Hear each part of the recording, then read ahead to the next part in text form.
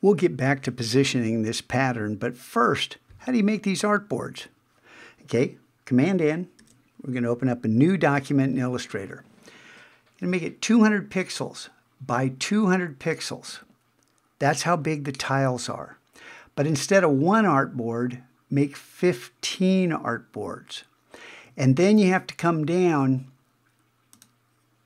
more settings. I always have advanced open and I, I, encourage you to have it open so you always make sure you're working in RGB. And then we're going to click on more settings and then just make sure how many rows, how many columns, you know. So spacing, size, all this. Columns, straight up and down, we want five columns because there's 15 artboards. You don't have to make 15 different patterns, but I'll tell you, patterns are so simple, you could do 15 patterns in a period once you learn all this. Whether or not those patterns are worth using, that's another story, but it's not difficult. This would be a good beginning to a larger project because just because you learn how to use patterns doesn't mean you're done with them. We're going to be using them the rest of the year. Okay, so if we have 15 um, artboards in five columns, and I just left the default spacing, and we're going to say create document. And there it is. I'm going to hit Command minus a few times. Um, there we go.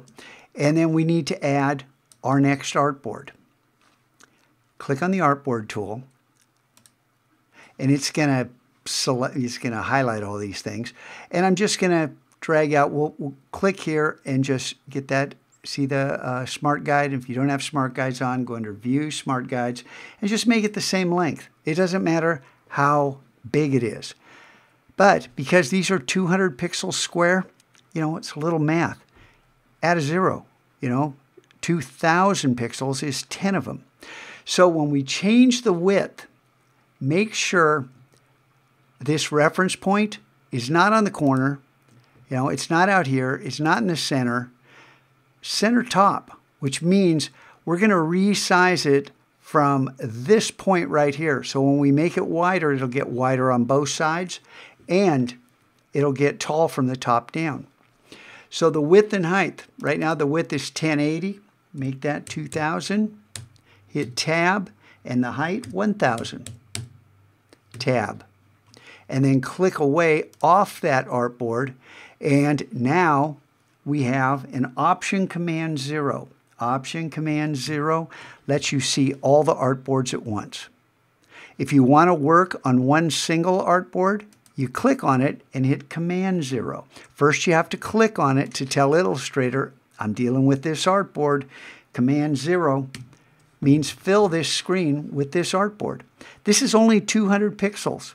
So now you can lay down your art. And if I jump over to mine, you can see if I click once on here and hit Command Zero, you can see this is pretty darn simple.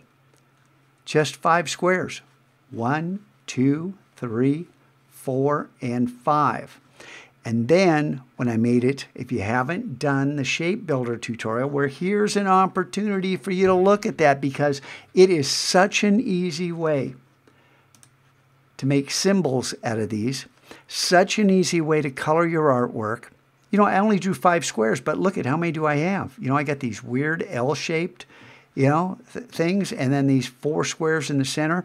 Well, this is just where those the, the paths on the outside of the shape um, intersect. And then you just click with the live paint bucket and go click, click, click, click, and you got the black and, and fill with white for the other side. You don't want to leave them blank. You want to, fit, if there's going to be white, fill it with white. And that way in the future, when you use the live paint bucket, you can change those colors. And I have made a pattern with this using five colors of a color harmony. And you can do the same thing. This is just to get you started. So I do want to see you working Option Command Zero. Lets you see all the artboards. It's under View. I don't know where it is. Somewhere here. Show. I'll let you find it. I don't even care where it is. Um, you can look for it and find out, you know, and see the Option Command Zero. But it's under View. okay, in order to see all the artboards. Show all, I think it says. I don't know. Learn the shortcuts, and then this Illustrator becomes an extension of you.